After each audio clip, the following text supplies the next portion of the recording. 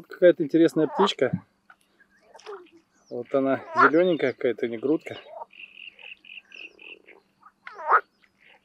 Желтенькая, желтенькая грудка. Не знаю, что это такое, но она здесь постоянно по улицам ходит. Напишите в комментариях, пожалуйста, кто знает, что это за птичка.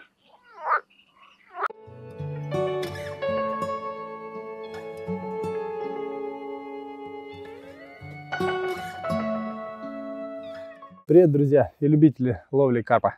Я сегодня выехал на рыбалочку на дикарь, половить карпика. И вы на канале Рыбалка с Ильей Приваловым. О, потяжечка какая-то была, возможно, будет поклевка. Если ездить на дикаре разлавливать, то нужны какие-то инструменты для того, чтобы подготавливать место, где ты стоишь, и место ловли. Поэтому заехал на рынок, купил себе серп. Объясню, с чем это связано. Вот я выехал на дикарь, на который ездил уже не первый год, где-то три года уже. Ну, раз в сезон я езжу. Я люблю не люблю часто посещать одни и те же водоемы. Один раз в сезон я его посещаю. И здесь на береговой линии а, выросло вот как раз а, водоросли. водоросли. Но самое главное, это не оказалось самой большой для меня проблемой, эти водоросли. А вот именно береговые водоросли, они еще гуще выросли. Я пару раз завелся, вот лодочка у меня стоит. И Получается, я как вот по какой-то каше грибу, и это не очень неудобно. И поэтому сегодняшняя рыбалка начинается с того, что я подготавливаю свое рабочее место для того, чтобы нормально рыбачить. Ух ты, я не знаю, откуда вот эти берутся растения. Может, кто-то напишет комментариях, но они жутко мешают. Как заезжать лодки, так и вываживать рыбу сходов, наверное, не избежать при такой рыбалке. Ребят, возможно, у кого-то свои способы вот именно очистки, какие-то свои инструменты. Подскажите, пожалуйста, напишите в комментариях, как вы наводите порядок, с помощью каких инструментов и легко и просто это делать. Я только, как говорится, я всегда в поисках э, нового и лучшего.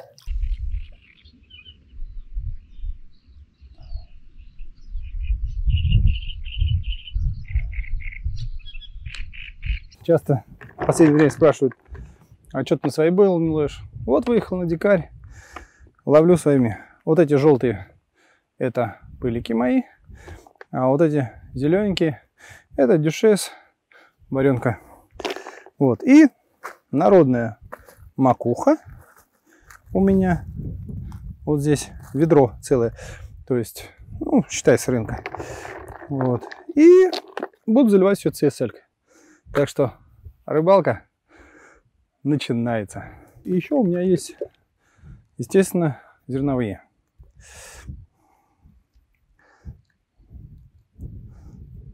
Сейчас готов уже завестись.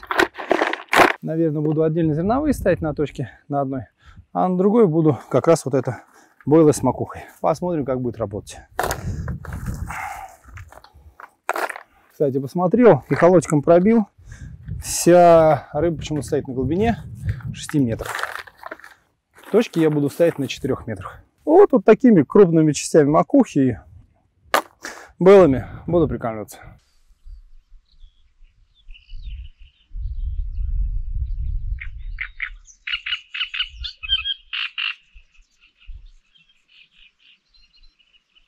Утки плавают.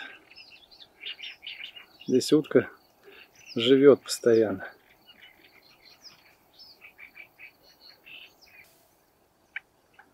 Любопытная, смотрит на меня. Не боится. Ты погляд какая смелая.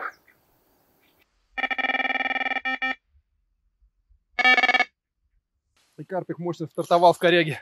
Я его сейчас вытаскиваю. Ну, пойду, вдруг вытащу все-таки до конца. Все, думаю, хорошо будет. Правда, трава здесь метров пять. Придется заходить. Здесь трава.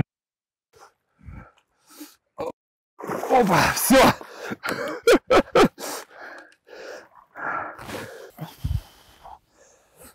Блин, ребят, вот такой трофейный зеркаша.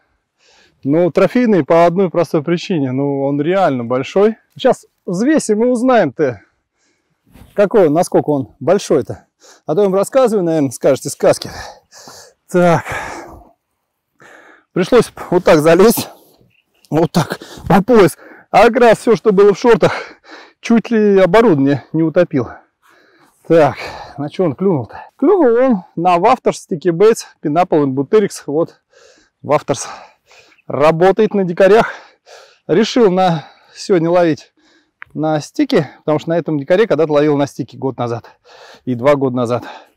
Мы его разлавливали как раз на стиках. Думал, что придумывать-то? Для чего все? Там велосипед это придумать, все остальное. Надо ловить на то, что ловил до этого. А прикармливаю точку обычными зерновыми. Ребят, как вам экземпляр?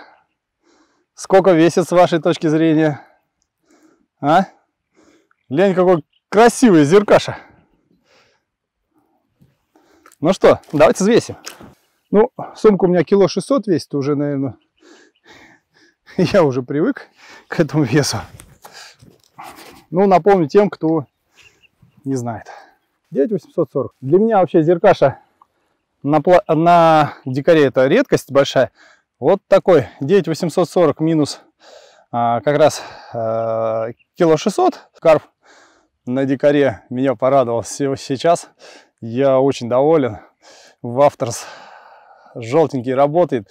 Надо сейчас поменять насадки. Вот, перезавестись и на ночь закормиться. Я думаю, будет карповый для рада. Для дикаря, мне кажется, это отличный размер.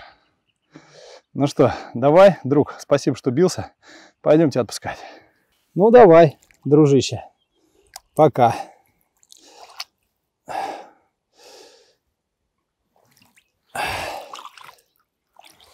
Что-то в траву, что ли, утыкаешься ты? Не можешь идти. Давай. Все.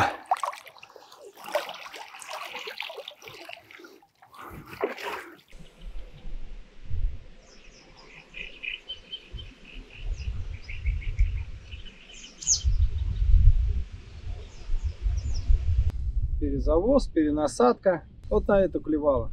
Так, теперь по прикормке. Прикармливаться я буду сваренная конопля пшеницы и кукуруза. Единственное, что перегнал все я через мясорубку.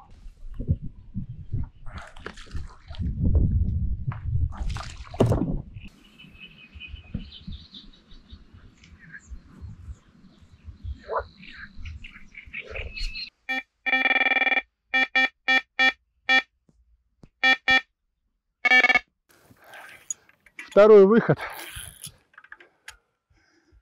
и по ходу дела он в корягах. Прям один за одним, что ли, они идут. А нет, идет. Отцепился. Надеюсь, я его вытащу. Прям радует. Слушайте, вот это начало, я думал, вообще ничего не будет. Ничего хорошего в этом затее в дикаре. А нет, во вторая поклевка. И тяжелая.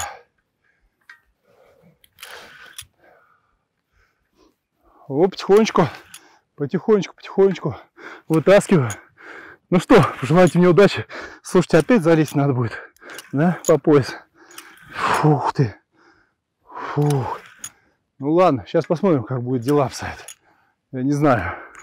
Ну, ну реально. Пиков нету сильных. Так, пик-пик, я на фрикцион зажал, там дальше 2-3 метра дальше и кореги. Поэтому единственная поклевка это пук-пук-пук. И надо уже тащить. Условия ловли. А, вот он рядом.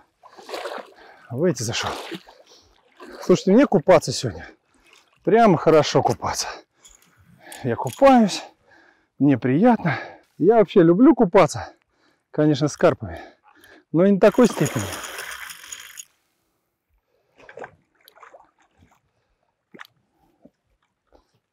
Опа! Yes! Yes, ребята, чуть поменьше, но чешуйчатый. Красавец. Ох ты. Я сегодня как дядька Черномор, блин. Так, вот так я промок еще сильнее.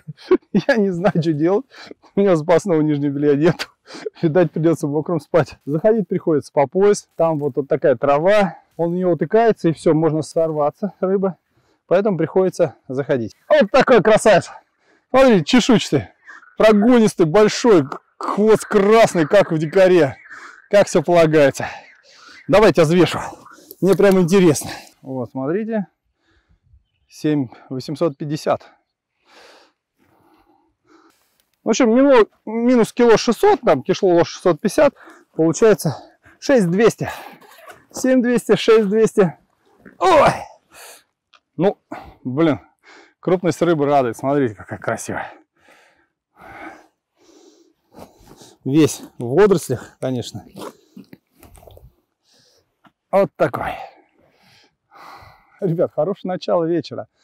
Сейчас как раз солнце садится, светит очень сильно в глаза, но меня очень радует. Вот такая рыбеха. Классно, мне распечатался на своем любимом дикаре. Ну что, друг, давай вперед. Траву я выкусил, можно идти, блин. Давай. Ушел.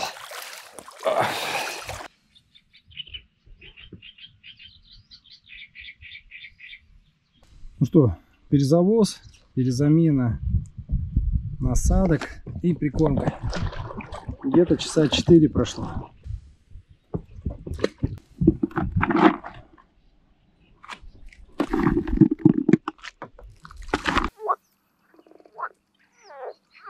Вот это жабе свадьба.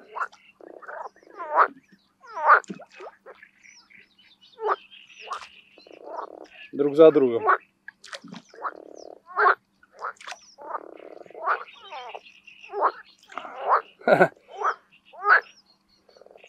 Все, у меня здесь теперь жабе свадьба. Опа.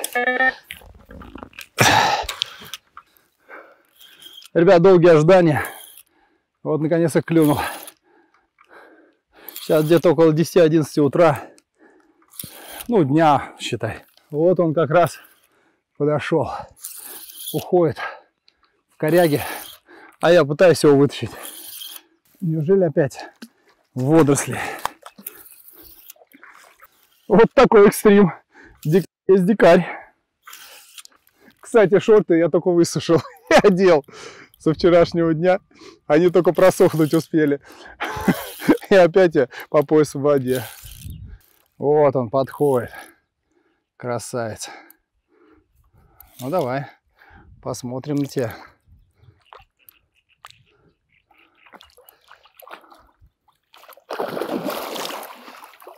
Оп! Все. Все взял. Взял. Взял. Фух. Это просто жесть какая-то. Ну что, ребят, пришлось свой аудио звуковой аппарат подкатать в майку, потому что я зашел, думаю, в карман, ничего, уместится, все нормально. А нет, нифига, глубина не позволяет, и поэтому я его сюда на пузо подкатал, чтобы не утопить. Все-таки дороговато стоит.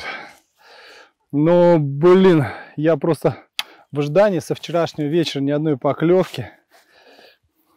И меня он очень сильно порадовался. Не только, что он клюнул.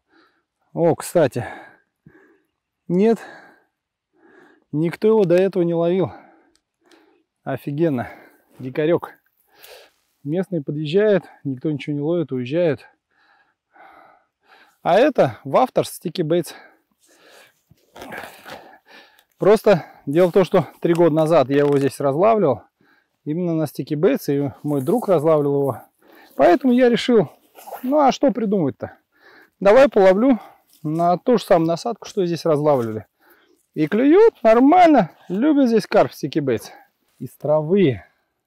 В общем, трудовая рыбалка. Смотрите, какой классный карп. Зер... Чешуйчатый, прогонистый. Ну, мне кажется, не меньше семи. Это точно. Вот такой карп, блин. Как слиток золота. Смотрите, какой у него хвост. Как он глиссером своим работал. Восемь. Восемь с половиной.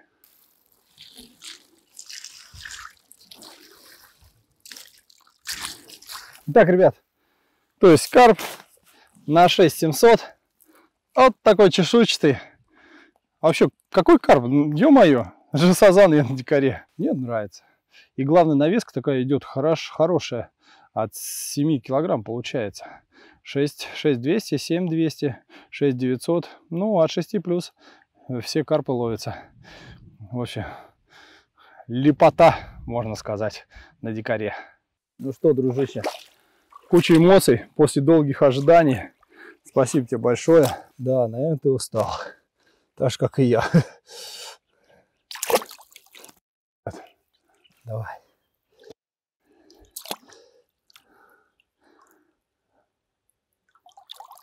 Ушел.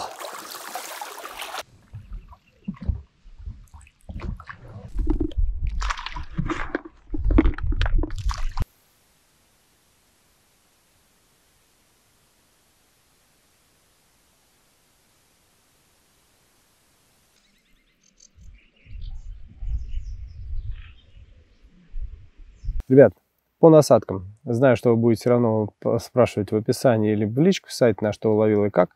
Вот, поэтому сразу по насадкам.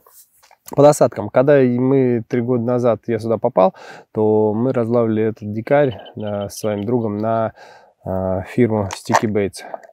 Вот, и поэтому у меня есть эти бойлы, никуда они не делись. И я решил разлавывать именно на стике бейс. Так получилось, что из всего набора огромного, который у меня есть бойлов, попапов, э, тонущих и все остальное, э, три был, у меня было 4 поклевки и 3 э, реализованных, то есть я 3 вытащил. Вот. И как раз э, клюнуло на ну, более часто поклевки были именно на вафтерсы, и в автор Sticky Base Pineapple and Butyrix. Второе, это у меня здесь нет этикетки, но это персик, пич. Персик, тоже в авторс. И я, у меня все давно был э, буш, бушбери, то есть это лесная ягода, тоже в авторс. Пытаюсь э, сделать, конечно, кулибничать. Вот как раз эти насадки. Вот это вот со стиком бушбери. Здесь бойлы резные.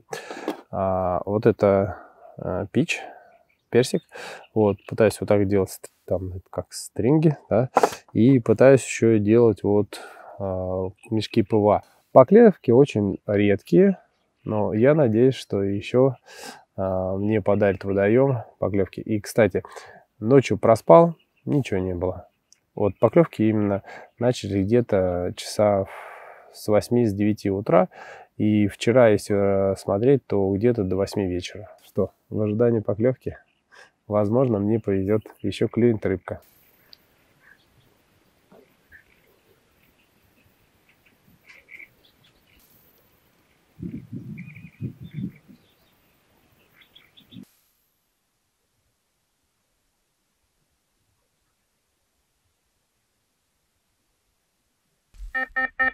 О, пошло. Пошла жара. Оп. Трясет головой. Хочет избавиться от меня. Вот это поехали кататься. Ух ты, ух ты, ух ты, как это потащил-то. Ты что, дельфина, а? Есть.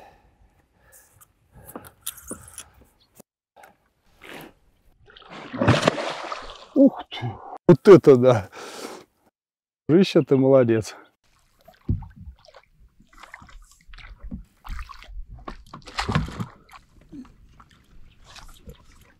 Ух ты! О! Какой мощный, а? Я думаю, что это червонец, как минимум. Блин, вот это да, вот это рыбулька. Не зря я выехал на лодке его вытаскивать. Так бы с камыша это был проблематичнее. Ребята, я его все-таки высидел. Ждал очень долго, когда придет.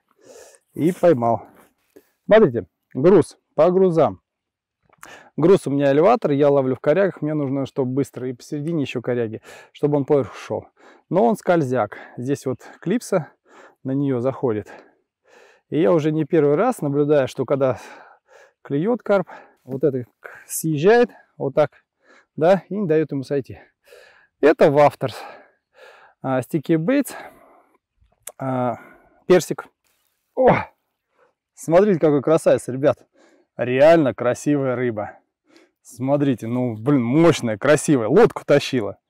Я, я кайфанул от того, что я поймал такую рыбку. Смотрите. Так, погнали. Взвешивание. 10, 10, 120. Слушайте, ну, глаза меня подвели. Я думал, червонец. 10, 120 минус кило 600. Получается 8,5 килограмм. Но все равно я рад. Я потихонечку укрупняюсь.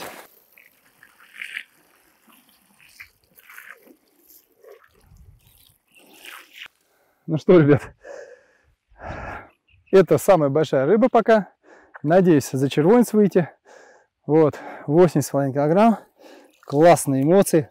Лодку таскал, ё-моё. Вот такой красавец. Давай, дружище. Отдышись. И вперед.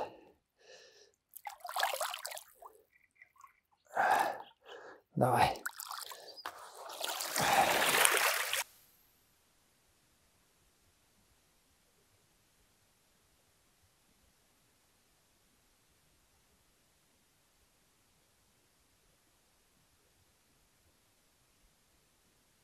Итак, ребят, вечерняя зорька, как раз 6 часов. Наконец-то жара стихла. И жабы прям сразу расквакались, довольные, что жара спала. Все, это их, наверное, время здесь, на этом пруду. Вот, начали квакать. Просто шум неимоверный сзади стоит, если вы слышите. Немного расскажу о том месте, где я ловлю по рельефу. Смотрите, дистанция где-то на уровне 90-100 метров, точно не мерил, ну где-то в районе 100 метров завоз ловлю. А, от меня рельеф такой идет. Вначале идет плавный свал, а, и где-то на протяжении 7 метров вот это как раз водоросли, всякая тина, все вот это вот такая вещь. Метров, наверное, 7-8.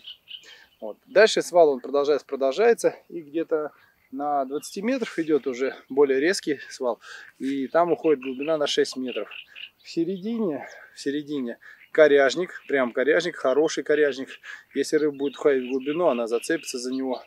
Вот, поэтому стараюсь элеваторы ставить, чтобы вверх выдергивать эту рыбу. Вот. И, а, конечно же, а, на расстоянии где-то до точки лова, не доходя а, где-то 7-8 метров, то есть крайняя глубина 8 метров. Потом идет опять плавный выход на 6 метров. И потом резко вот так выходит бровка, резко выходит э, с 6 метров на 4 метра. И уже чуть-чуть побольше, там 3,5. Вот как раз на выходе из нее 3,5-4 метра я и ловлю. Когда я проходил холотом, рыба стояла на русле. Э, где-то на уровне 3-4 метра от высоты. И э, именно э, по бровке, где вот 6 метров начинается и 6 метров заканчивается. Как раз вот ровная стояла рыба. То есть, соответственно, кормиться она выходит на бровку и кормится. И клюет. Ставил ближнюю бровку, не работает. Только дальняя работает. И самое интересное, вот этот пруд, он такой привередливый. Мы его три года назад разлавили на стики бейтс. А, вначале брался какой-то ванила, потом желтый, белый ванила он привередливый, потом еще что-то такое. Но вот сейчас я на вафтерсы ловлю. Ну, у меня есть многих производителей бойла.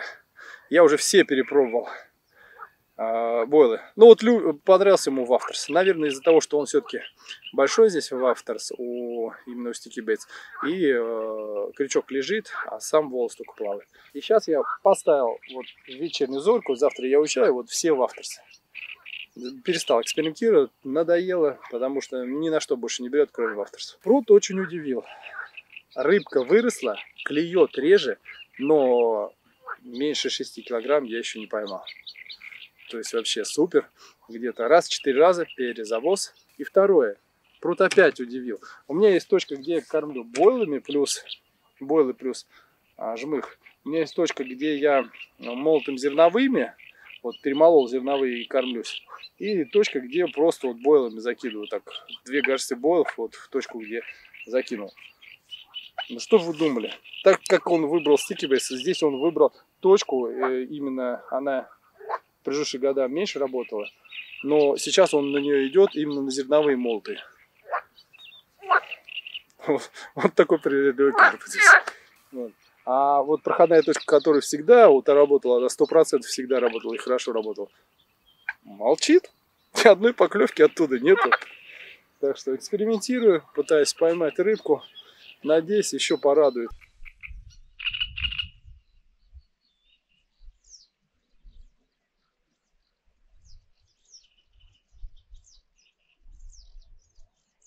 Ребят, была поклевка. Смотрите, карася притащил. Карась позарился на бойл. Вот. Как он его вот... Во, как он этот вафтер сосал. Смотрите, целый рот. Ну, по сути дела, во весь рот его. Но, блин, он его все-таки сожрал. Вот как -то. Вот, смотрите, видите? Ну, я вот не знаю. Блин. Как ты, дружище, так умудрился, а? Непонятно, вокруг тык-тык, и все. Стал вытаскивать, карась сидит. И таких хороших размеров. Но я его отпущу. Идет. Уплыл!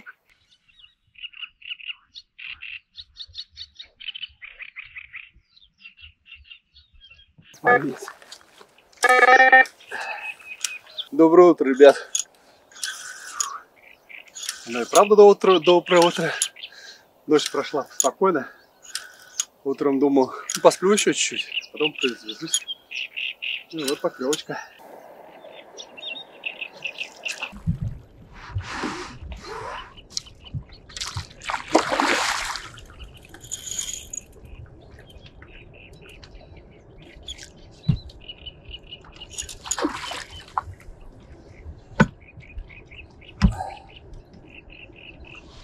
Ламцы, давай, выходи.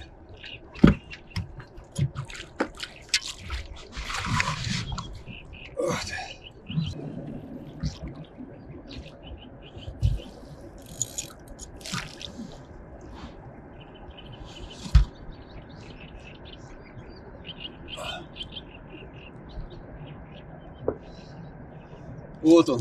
А, есть. Ребят, отличное доброе утро. Сейчас без 26. И что может быть лучше утренней поклевки вместо будильника, чтобы клюнул карп? Лучше не бывает. Так, это у меня Pineapple Buterix работает. Вафтерс. Вафтерсы в, на этой рыбалке рулят. Спрут, еще раз скажу, специфичный. Но где-то пятерочка. Пятерочка точно. Взвешивать я не буду уже привык к ним. Вот такая бодрая пятерка. Классная.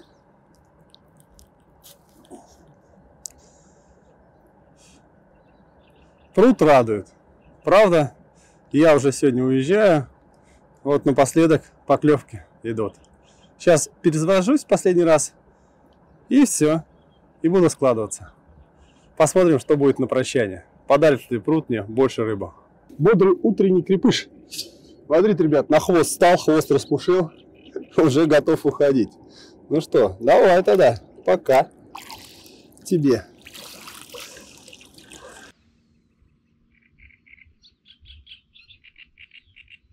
С утра мне карпик стабильней по радует, ребят. Трясет головой. Не в коряге ли он, а? Уже. Все-таки я его могу учить.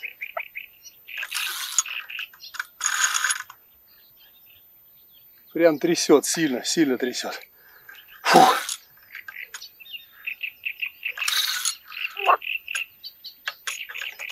Блин, сошел. И такое бывает. Сошел прям сразу с литкором. То есть отрыв был вот на леске. Леска 0,4 износилась, видать. Я, как кстати, а я же ее, прежде чем завести, я ее обрезал на 4 метра. Ну что ж, опять перезавоз.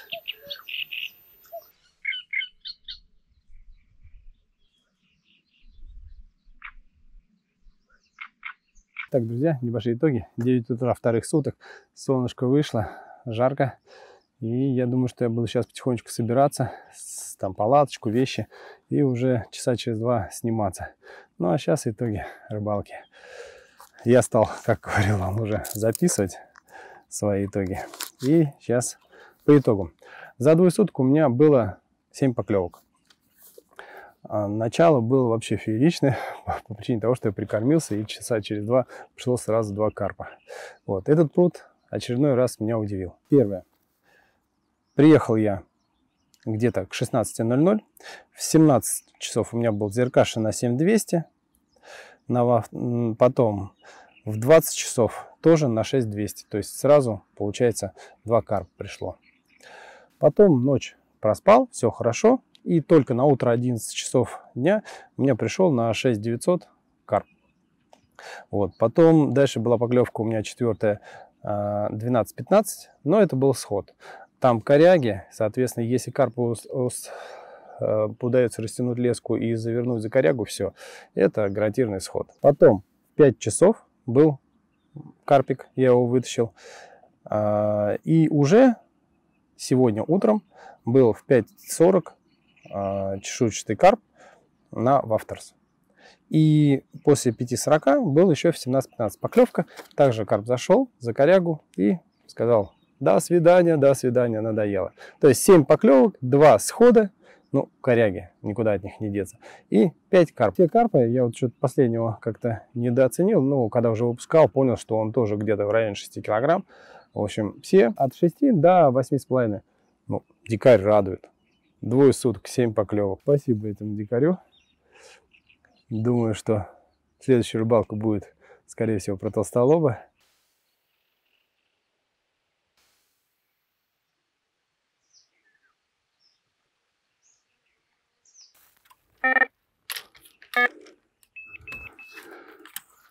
Ну все, ребят, я сматываюсь, моя рыбалка подошла к концу.